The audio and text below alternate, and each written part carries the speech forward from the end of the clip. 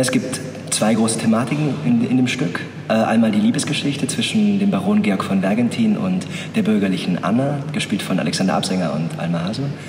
Und dann gibt es die andere Thematik und das ist die politische Entwicklung äh, in der Jahrhundertwende in Wien, also Zeit der Jahrhundertwende. Und meine Figur ist äh, der junge Jude Leo Golowski, der in diese antisemitische Zeit hineingeworfen wird und mit diesen Hassattacken konfrontiert wird und versucht damit umzugehen. Zunächst über Sarkasmus und Ironisierung versucht er sich da irgendwie rauszuretten und die Situation zu verstehen und damit klarzukommen, bis er irgendwann dann über persönliche Erfahrungen so tief verletzt wird, dass das nicht mehr geht und er sich letztendlich dann seinem Peiniger auch stellt und beinahe ein bisschen in den Extremismus abdriftet und ja, sich dem Zionismus zuwendet. Also dem Ziel, der einzige Ausweg ist das Auswandern und ähm, das Trennen dieser beiden Gruppen. Also Juden können keine Deutsche oder Österreicher in dem Fall sein.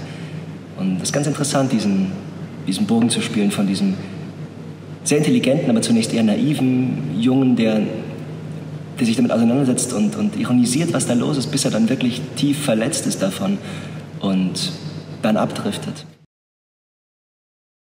Diese verschiedenen Figuren zu spielen, ähm, die ineinander übergehen und diese Brüchigkeit zwischen den, den verschiedenen Figuren. Und auch, dass diese Figuren Ähnlichkeiten haben zueinander und dass man eben nicht eine Figur einfach komplett ablegt und dann in die nächste geht, könnte man auch machen. Aber ich fand es sehr interessant, dass man in jeder Figur auch was von der anderen mitnimmt und dass diese Figuren eigentlich alle einen gemeinsamen Bogen haben. Nicht sehen zu können, stellt eine Wahnsinnsherausforderung dar. Wie erkenne ich einen anderen Menschen, den ich nicht sehen kann. Und dass man plötzlich auf sich zurückgeworfen wird und auf andere Sinne und dass man wirklich auf der Bühne auch als Schauspieler wenig wahrnimmt und, und, und ganz seiner Mittel beraubt ist eigentlich. Das war ganz, ganz spannend zu sehen und auch nicht leicht. Aber ich glaube, wir haben einen ganz schönen Weg gefunden und manchmal gelingt es einem dann wirklich, nichts zu sehen auf der Bühne. Und gerade in dem Moment, wo einem das bewusst wird, jetzt sehe ich nichts, kann man natürlich wieder sehen, weil dann schaltet das Gehirn sich ein. Aber das ist, das ist sehr, sehr spannend. Und darin, das ist großer große Schauspielspaß, ist das, ist dahin zu kommen. Also ich finde prinzipiell, dass man gerade auf einer Bühne über Körperlichkeit sehr, sehr viel ausdrücken kann. Das gerade im Vergleich zum Film natürlich einen viel größeren Bereich abdeckt und man über Körper wahnsinnig viel erzählen kann. Und dass das sehr, sehr wichtig ist. Und also in dem Fall habe ich jetzt mir verschiedene Bewegungsqualitäten überlegt. Also das verschieden, gerade in den verschiedenen Figuren, verschiedene Figuren bewegen sich anders, gerade wenn man blind ist. Also einmal haben wir versucht natürlich prinzipiell zu erfassen, was ist dieses Nichtsehen. Wie stelle ich das dar? Da hat jeder seinen eigenen Weg gefunden.